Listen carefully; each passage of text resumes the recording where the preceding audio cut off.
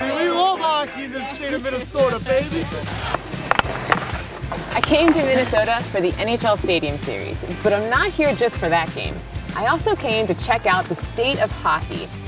A state with 10,000 lakes, a love for the outdoors, and cold winters is a perfect combination to produce enthusiasm for the sport of hockey on every level. But before I can lace up my own skates, I caught up with a friend and Wild fan to hear his excitement about an NHL outdoor game finally coming to Minnesota. Uh, I've been waiting for it for a long time. Uh, I did go to the, the Gopher outdoor game, and that was fun. Um, there's something about a pro game that, you know, it's the professionals. You know, it's the big boys going at it. And uh, National stage too. You get Yeah. to kind of show off the state of hockey to, to the rest of the country. yeah, and it's it's cool. You know, you get to show you know why we're the state of hockey. Game day had arrived.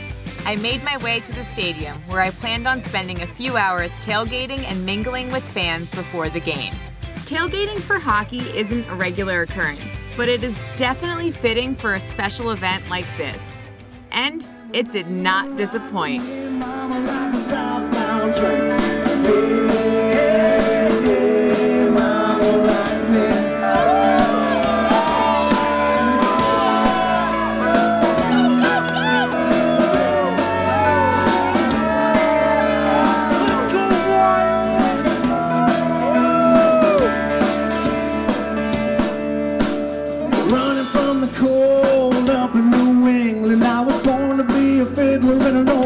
Old town string band. Baby plays a guitar, I throw my banjo now. Can we do like a super high five where you get us in slow motion? Oh no, country winners keep forgetting me now. Lost my money playing poker, so I had to walk away. But I ain't going back. My original plans to spend a few hours tailgating were cut short due to a slight mix up of time. I thought it was at six. Holy You guys crap! get rolling?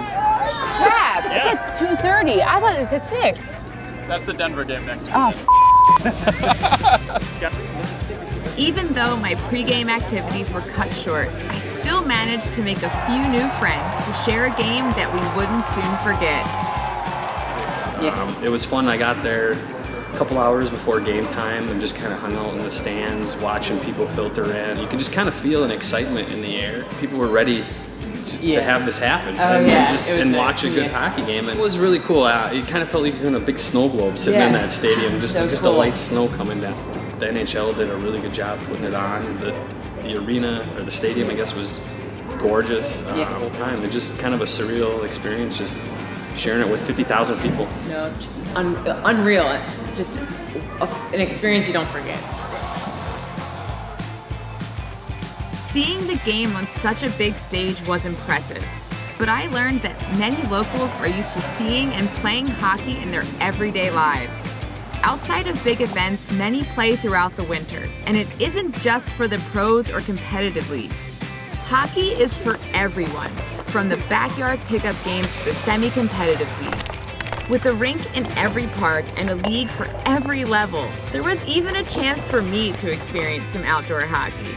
So I met up with Ben's friend Adam at the Palace Community Center for a chance to play a pickup game. Growing up in Pennsylvania, I never had the opportunity to play the game outdoors, except for street and roller hockey. I had always heard about how popular hockey was in Minnesota, and I never thought my first outdoor game would be here. skate forward and backward, but that's about like the the limit. Oh my god, I get some!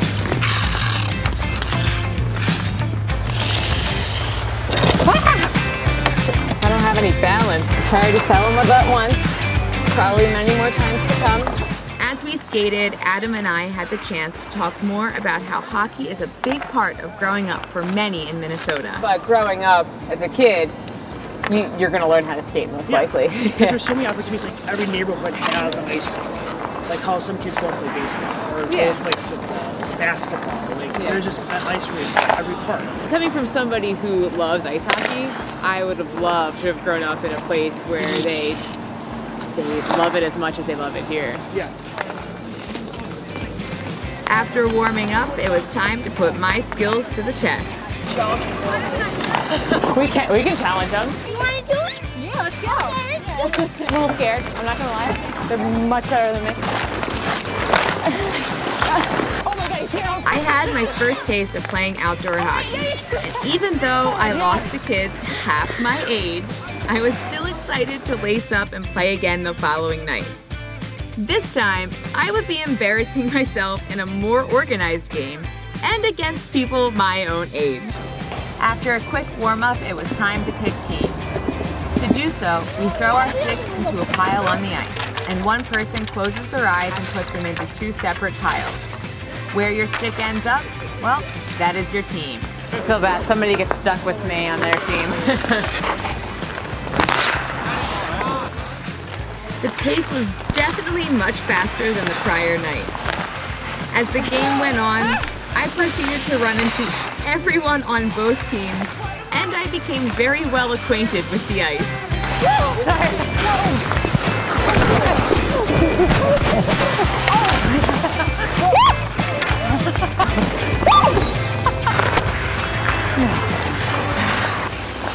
Even though I had bruises that would last several weeks, still wish I had this in my backyard.